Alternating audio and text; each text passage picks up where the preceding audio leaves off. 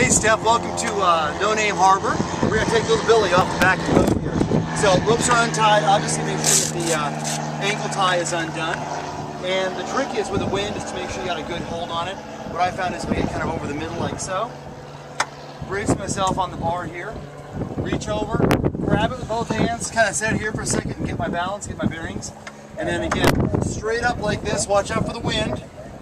And then around like so.